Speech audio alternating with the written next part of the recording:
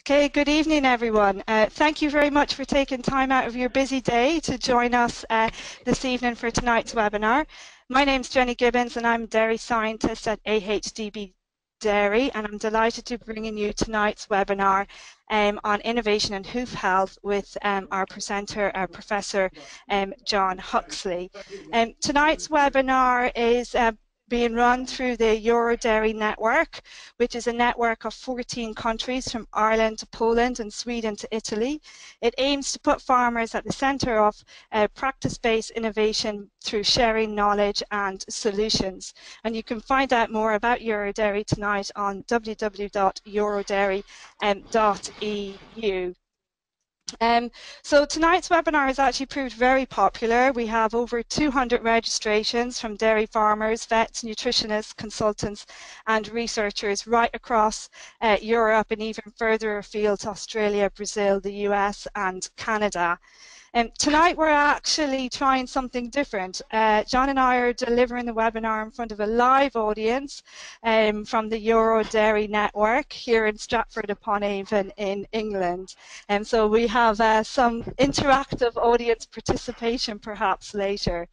So the plan of action for tonight is that Jon will, will run through his presentation which will take about 25 or 30 minutes and there will be uh, time for comments and questions um, at the end. Everyone at home will stay muted throughout the entire webinar, but if you would like to ask a question, there is a control panel on the right-hand side, and you can type in your, your question into the chat box, and uh, I will pose your question to Jon when he's finished his webinar.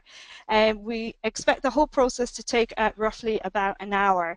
I'd like to sincerely thank our digital manager, Alana, who's working uh, uh, behind the scenes to make sure to keep this running as smooth as possible. But if we do encounter any technical difficulties, please do uh, bear with us. Um, so without further delay, I'm delighted to introduce Jon.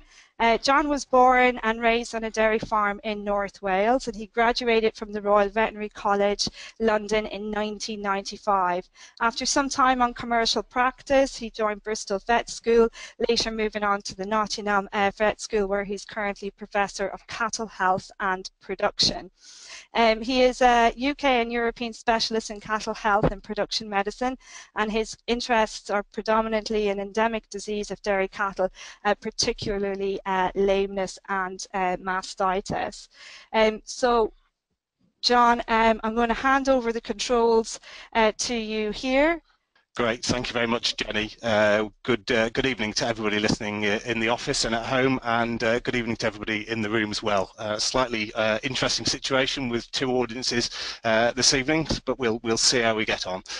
So what I would like to do for the, for the next half an hour is, is really just give you a high-level overview of, of where lameness research has gone over the last five to eight years. It's been a really exciting time in the lameness field um, over that period of time.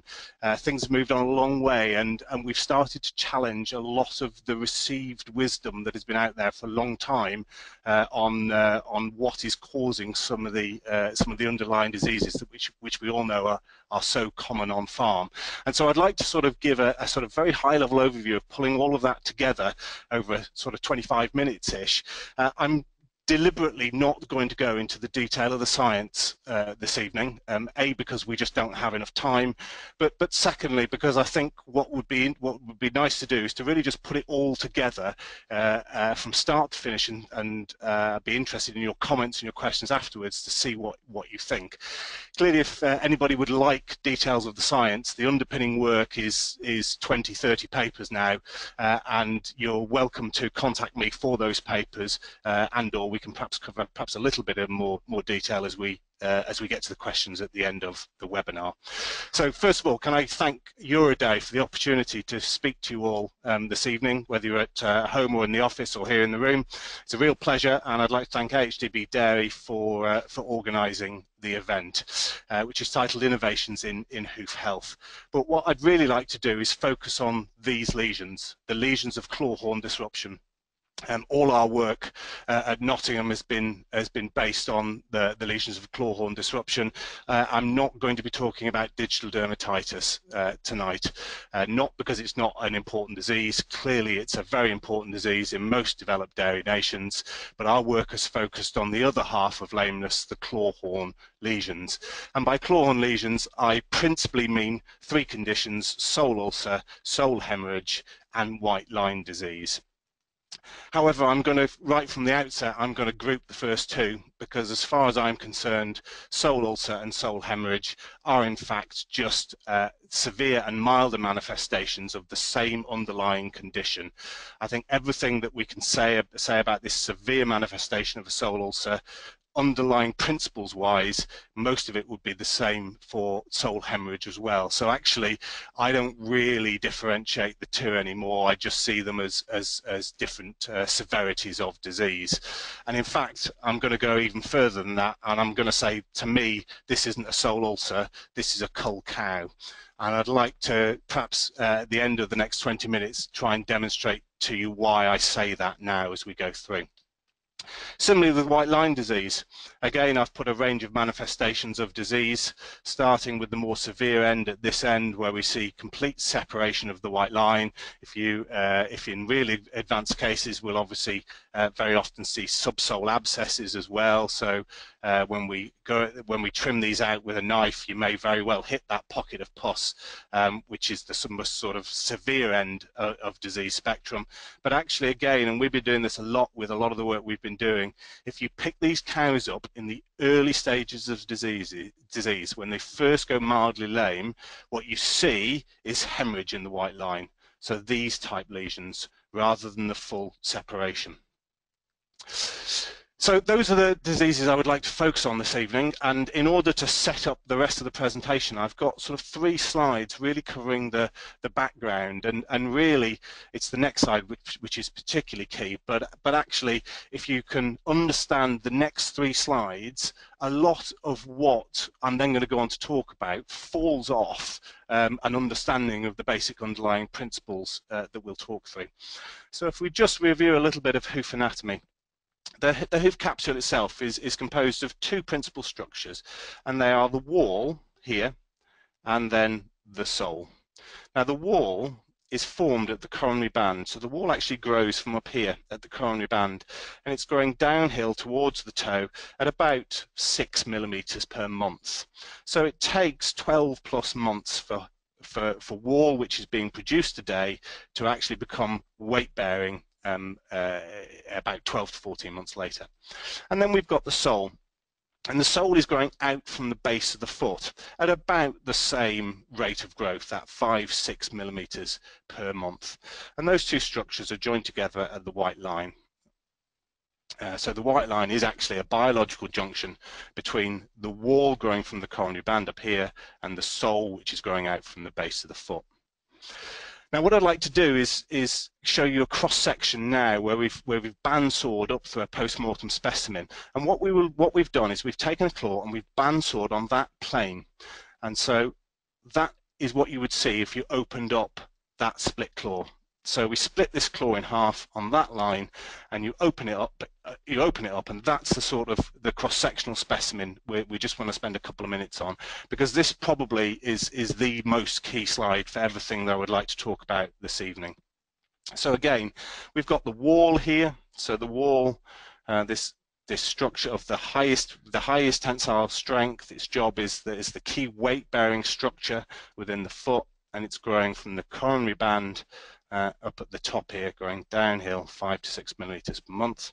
Then we've got the sole on the base of the foot and the sole is being produced from a very thin layer of germinal cells in this region called the dermis here. So there is a very thin layer and we're talking about a matter of one one plus millimeters thick these cells are absolutely key because these are the cells which are going to produce the sole. And you'll perhaps see in a second why uh, they, they are so key to us, because that is a truly terrible place to be sat, and I'll demonstrate to you on the next slide why I say that.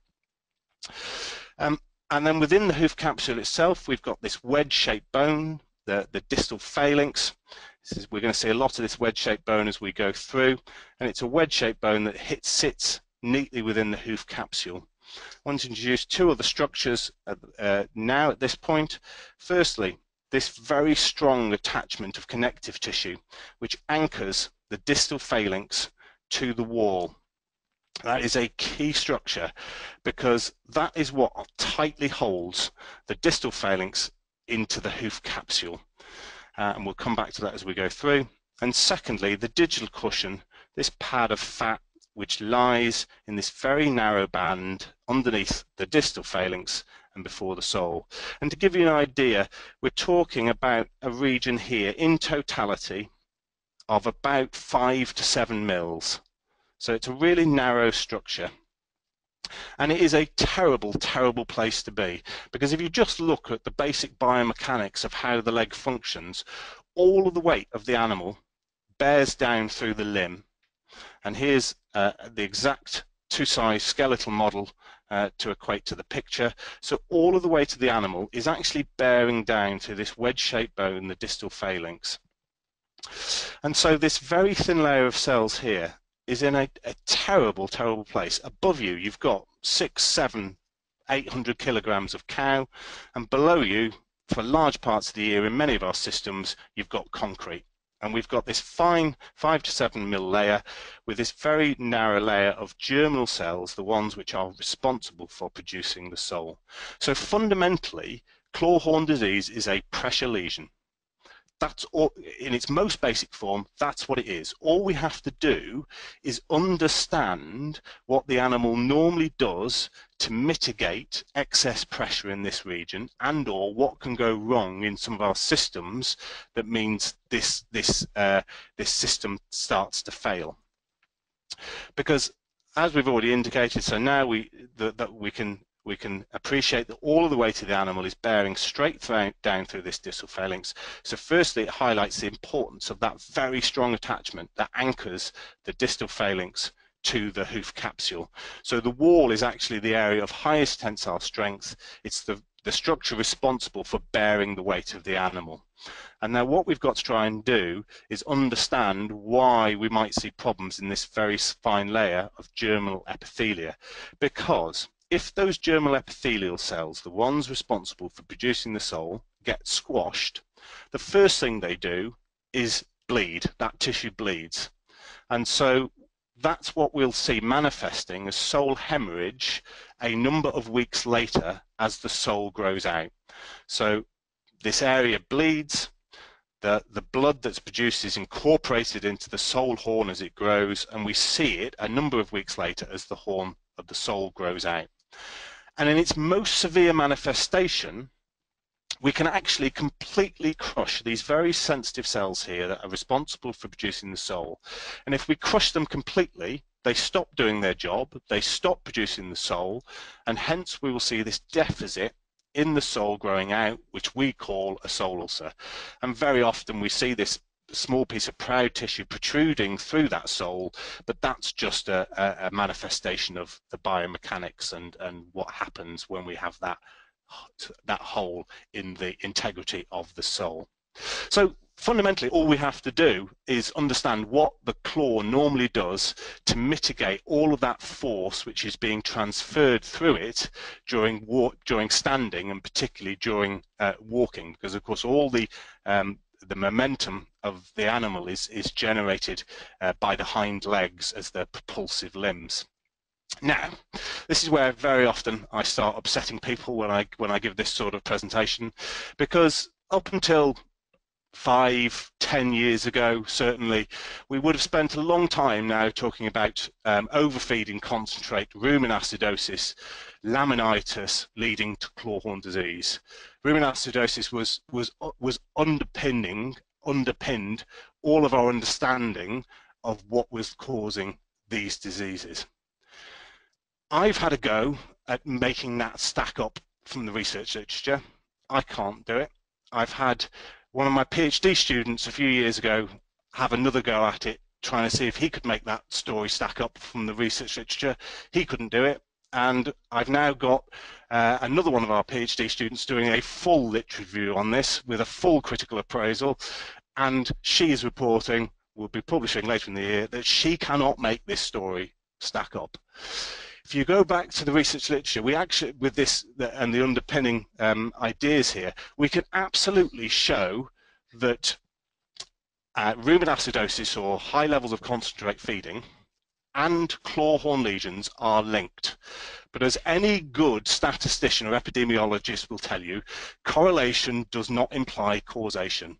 So it is entirely possible for two things to be linked, but they're not being causally linked. So one doesn't necessarily lead to the other.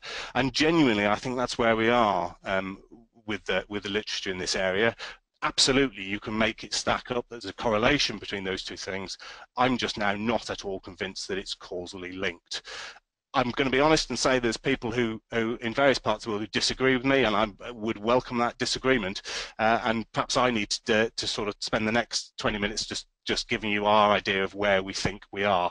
But just uh, just for, for entertainment value um, only, uh, and to demonstrate why you, you can't be sure that two things which are highly correlated are causally linked, here we've got the per capita cheese consumption of citizens of the United States correlated with the number of people who died by becoming tangled in their bed sheets. Those two things are very highly correlated. They are no matter what statistical test you threw at it, that would be very highly significant correlation, but I think we can all accept it's unlikely those two things are causally linked, just as an illustration. So of course, that now comes down to me to really to, to, to really demonstrate and, and talk you through alternatives to that to that idea. And what I would like to do is just talk you through what I see as the three principal areas which are causing excess pressure on that, that very thin layer of dermis responsible for producing the sole. If we can understand what the causes of that excess pressure are, I think we've got a long way to, towards understanding disease. And I think it's based on three pillars, or at least I'm currently grouping them into three pillars. They are environmental factors, the calving effect, and changes to the normal structure and function of aspects of hoof anatomy. And I'd like to run through them one by one. So firstly, environmental factors. It's not my intention to spend too long um, in this area, not because it's not important. I always get accused of, of underplaying the importance of environmental management as, as an aspect of lameness control. Clearly, it's absolutely key and fundamental and is the cornerstone of, of most of the lameness control plans that, that exist in, in, in our dairy systems around the world. Um, but it's not where we've been doing most of our work, and so by rushing over it, I'm not trying to underestimate its importance. That certainly isn't my my uh, intention. So uh, you'll know what all these are. So the first one I think we have to identify is concrete. I don't care what you say, nobody puts concrete in for cows' benefit. I think we need to we need to fundamentally grasp that we put concrete in for our benefit.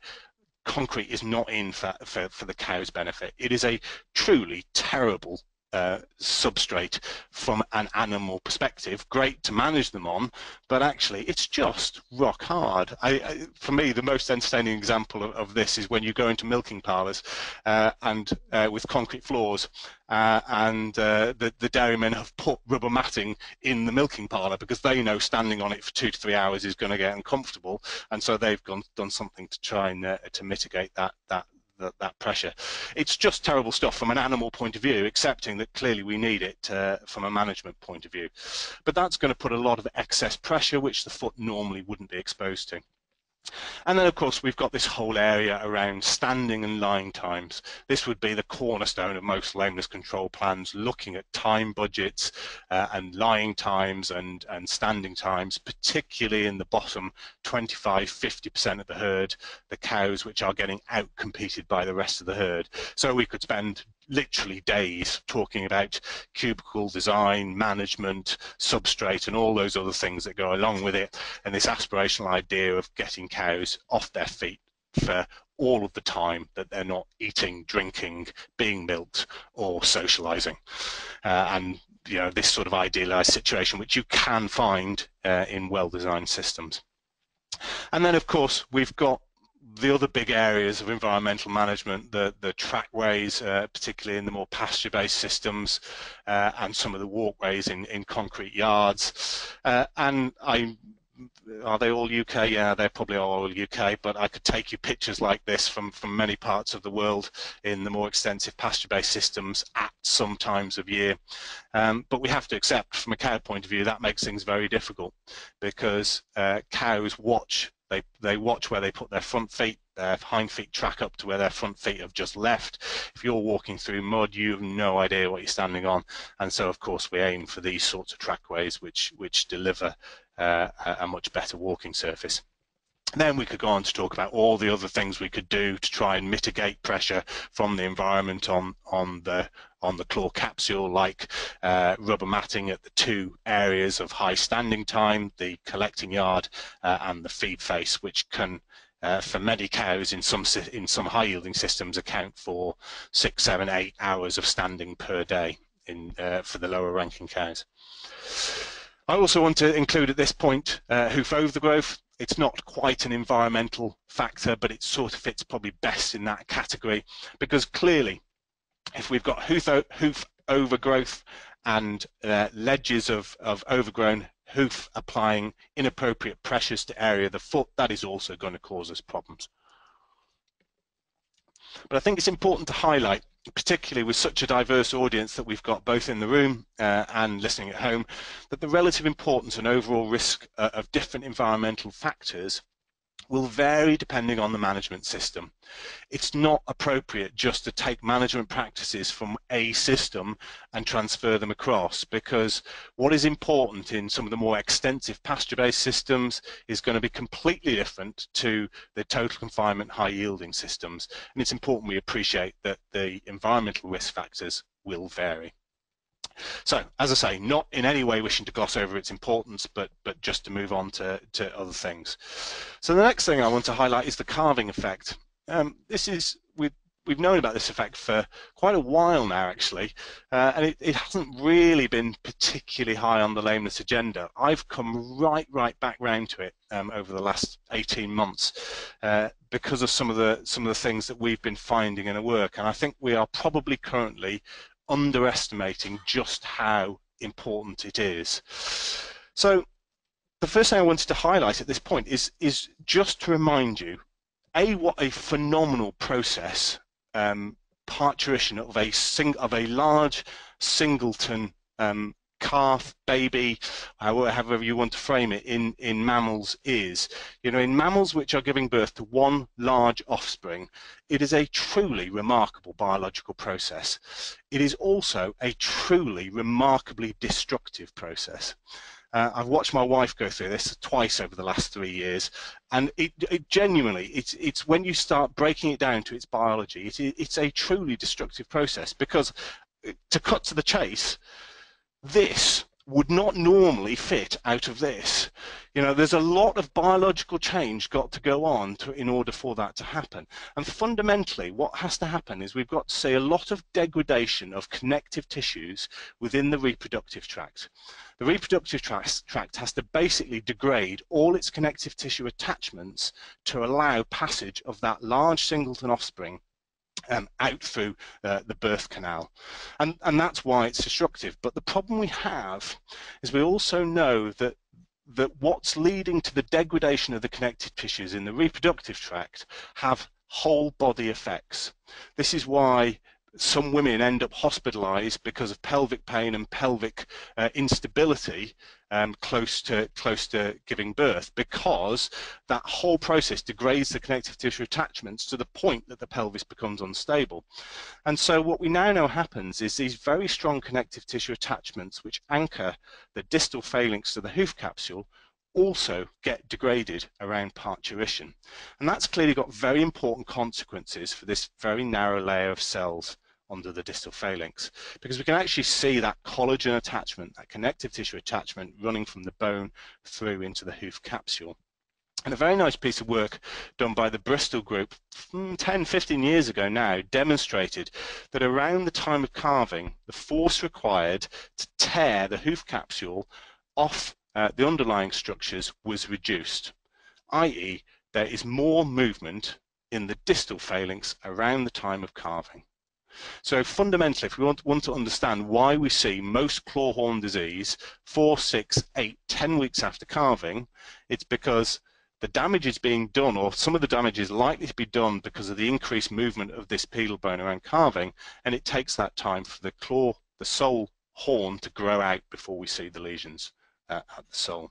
So the calving effect, as I say, I think we've, we've probably underestimated its importance. I'm going to come back to it just at the end.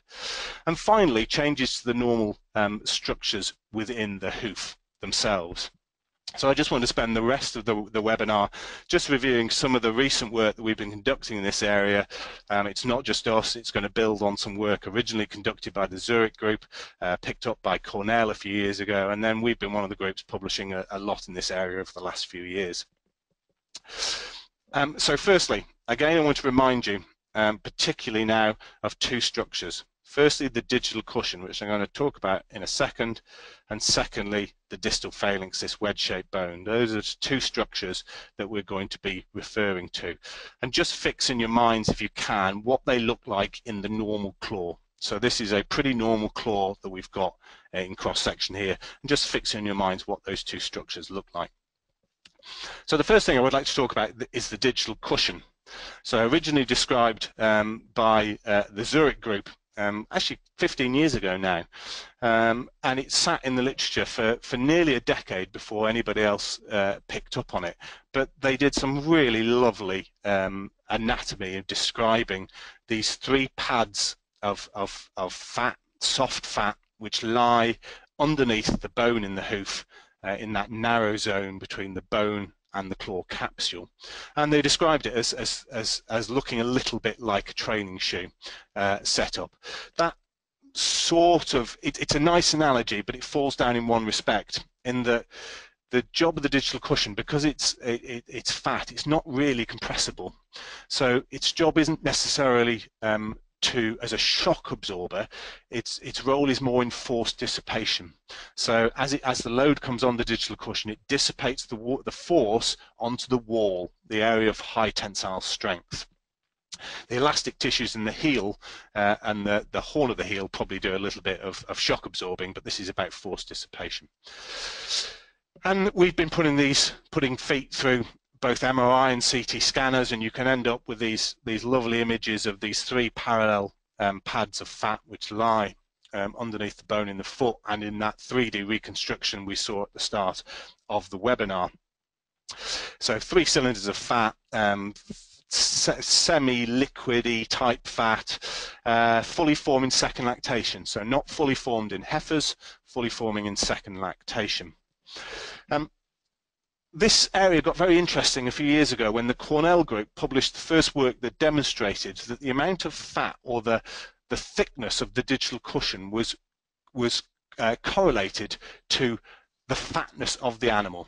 So fat cows had thicker cushions, thin cows had thinner cushions, and that really set the cat amongst the pigeons in the in in the sort of lameness world because it really started uh, answering some or asking some very interesting questions. Uh, and the Cornell group actually framed the first paper they published on this in this context. Wasn't quite the same wording, but it was it was the same meaning. Do lame cows become thin, or do thin cows become lame? Because we all know that thinness and lameness go together. So we all know that lame cows are highly likely to be thin.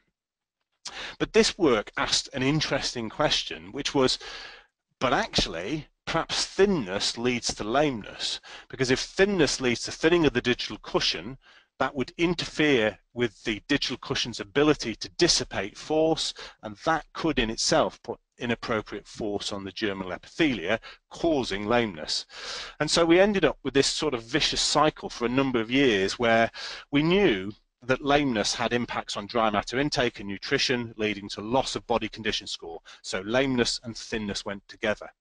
But we also know, particularly in the high yielding systems, that particularly the Holstein breed is losing a lot of condition to peak yield. So we have the, the possibility that loss of body condition to peak yield is leading to thinning of the digital cushion, interfering with its uh, ability to function, leading to lameness, then once lame cows stop eating and they become even more thin.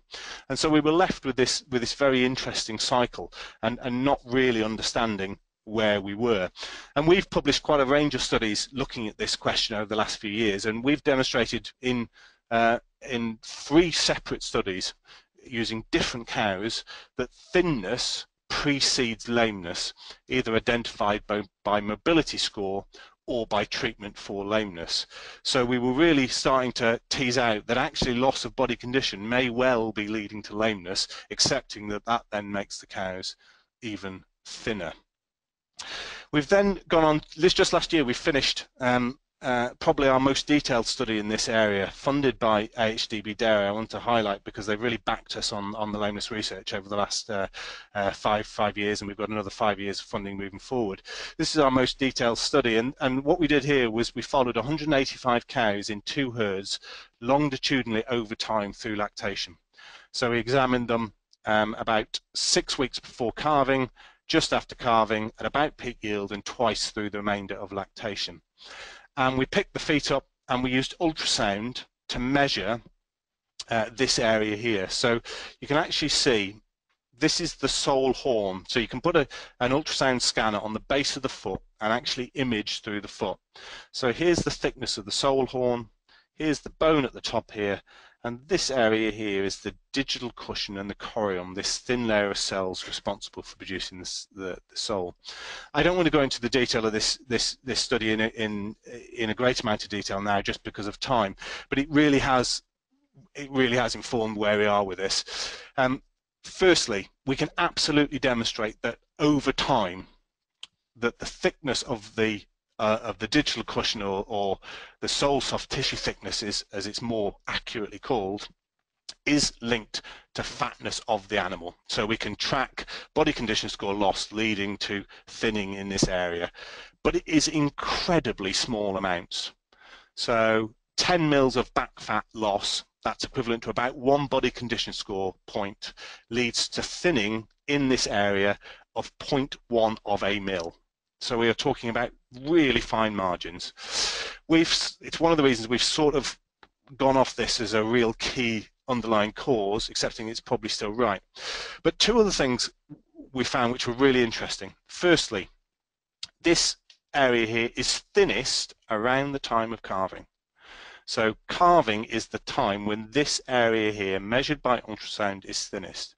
And we went, well, actually, that's not surprising, knowing what we know about the calving effect the, dis the distal phalanx is likely to be sinking around calving, squashing this area, so we measure it thin.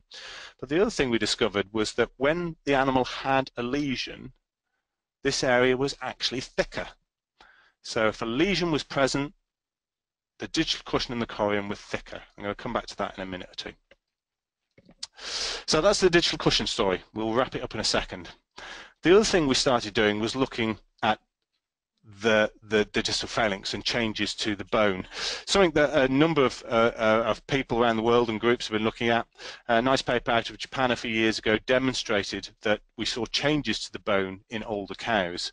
And if we put some of these these feet through CT scanners, this is the sort of thing we find. So here's a normal bone. It's got basically a smooth surface. In some animals after they've been culled, we find this mass of new bone growing off the base of, of the distal phalanx. This is a really extreme example. I've clearly picked one of the worst ones we've got. But you can see uh, different severities. So completely normal, new bone starting to grow. The work we published last year demonstrated that the degree of new bone growth is linked to the amount uh, to the lameness history of the cow. So animals which have had more lameness during life have more new bone on the distal phalanx. Cows which have had little lameness history have no new bone or less new bone on the distal phalanx. And again, that starts there to raise some very interesting questions because now I challenge you to fit this bone back into this picture and not put inappropriate force on this very thin layer of cells which are responsible for producing the, the sole horn. It's basically impossible. And the other thing, again, going all the way back to the Zurich group's work, what they what they demonstrated even 15 years ago, just using um, anatomy studies, was that in cows with sole ulcers, they saw scarring of the digital cushion, which again, if you consider all of that new bone, it's probably not very surprising that in these animals which we see with claw horn lesions have uh, damage to the digital cushion. And so we're really starting to, to put together now what is going on in the hoof. And I'm summarizing, I sum this up by saying this is a horrible, self-perpetuating downward spiral of disease. Once an animal develops a clawhorn lesion, they, you start to see new bone growing on P3. That new bone probably leads to damage to the digital cushion, which in itself then impairs the ability of the foot to uh, dissipate force, which in turn leads to another lesion, and so on and so forth. This is a vicious downward spiral of disease. I now think of the, the clawhorn lesion cow a little bit like the chronic high cell count cow. Once you once you start down this path, it is a very difficult train to get off. The high cell count escalator, the clawhorn disease escalator. You get on at the bottom and it's very, very difficult not to just get shot off the top at some point in the future because of this perpetuating downward spiral of disease. And that would fit with a lot of what we see from the field. It would explain why disease is predominantly seen in older cows and animals which have had previous lameness events. Again, all our latest work is saying that the principal, the main risk factor for a clawhorn lesion is a previous case of a clawhorn lesion. It completely overwhelms all of the risk factors. Secondly, once disease becomes chronic, cows are more difficult to treat and less likely to recover because once they've got that new bone and damage to the digital cushion, it doesn't matter what you do to treat them, all that damage is done. And thirdly, why it often takes time for the benefits of herd intervention programs to become apparent. Because if you intervene at a herd level with a really nice lameness control program today, all of the cows which are already on that escalator aren't going to benefit in any way, shape or form because you can't get them off that escalator. The only cows which will benefit are the heifers which calve into the herd after the change in management. So it's going to take one, two, three years before you see the benefits kicking through. And that's quite soul destroying when you're trying to manage disease on farm. And just to wrap up, I want to just just highlight um, the role of inflammation. This is an area where I'm really focusing on now. Three things that three things are starting to suggest that inflammation is key here. Firstly, new bone is almost always the result of an inflammatory process. When we see new bone, it's almost almost always inflammatory. Secondly, it would explain why when these cows have lesions and we measure the digital cushion, the sole soft tissue thickness, it's thicker because it's swollen when they have a lesion. And thirdly, it would explain a treatment um, randomized controlled clinical trial we conducted a few years ago. Again, funded by AHDB Dairy, we uh, conducted a high quality, we, we did it by the book randomized control trial, which are the, the, the, gold standard for testing different treatments. I'm not going to go through the details, but we enrolled cows with clawhorn lesions. We randomly allocated them to receive either a trim only a trim plus a block, a trim plus three-day course of non-steroidal anti-inflammatory drug, anti-inflammatory, analgesic, they go by a range of names, or a trim plus a block plus non-steroidal. And we looked at the proportion which were either sound or non-lame five weeks later. And we see the best recovery in the group that get a block and an anti-inflammatory as part of treatment again suggesting that inflammation might well be key. And that's an area we're currently taking forward in the, in the work that uh, AHDB Dairy have funded with us over the next five years. So in summary, for me, excess pressure is, on the dermis is caused by a combination of environmental factors, the suspensory apparatus and the calving effect, and changes to the normal structure and function of the hoof as disease progresses. And so really in conclusion, I've got a, a, number of take-home messages, and they are firstly, managing the environment to reduce forces on the germinal epithelium in the dermis is clearly key. That's what most of the lameness control programs aim to do. But perhaps really importantly, early and effective treatment of claw horn lesions appear to be vital in preventing recurrence. Because if we intervene when animals first have disease, we can try and pull them back off that escalator. If we leave them to this point, which I, have got, I've, I've, I've talked this a number of parts around the world, and people smile wryly. I know it's not representative of, of what everybody does, but we definitely are in a situation where this sort of thing is is one of the accepted norms for what treating a lame cow looks like and and what it is. And again, I'm going to highlight for me, that's not a lame cow, that's a cull cow. If we focus our effort here, we ain't going to get anywhere with lameness control. The animals we need to be focusing on uh, are these cows the point at which they become the first time they become identifiably lame. Because if we can intervene at this point, we can prevent them getting on that escalator of, of progressive downward spiral. I particularly like this because this is also a first lactation can, because it suggests that what we really need to target is control around those first lifetime cases of disease. So early and effective treatment, Inflammation appears to be central to disease and therefore the likely role of anti-inflammatories, non-steroidals, analgesics, painkillers, whatever you would like to call them, is only likely to in increase in the future. I think there's a real role in lameness control for these this group of drugs. Managing body condition score loss to peak yield may well be important to, to some degree, but as it's a standard part of any management herd, herd management program, it, it, it, probably makes sense. And, and finally, the calving effect may be more important than previously thought. Um, I'm now increasingly convinced we need to target all of our lameness management around the fresh calved cow, particularly the fresh calved heifer. We expose them to this really destructive biological process and at the same time we throw them into a herd of animals they don't know who are bigger, stronger, and more familiar with the environment than they are, and then expect them to spend hours and hours each day eating so they can give the amount of milk we expect them to give uh, and learn how to lie down in what is very often a, a very new environment for them. Uh, and so I think there's some really important lessons that, that we can learn in that area.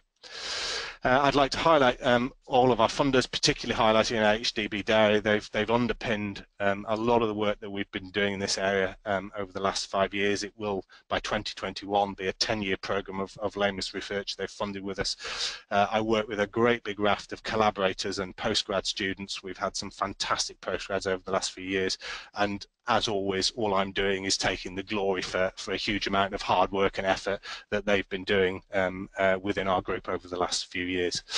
Um, thank you very much for your time. I have run over a little bit. I suspected that might be the case. Uh, sorry, Jenny.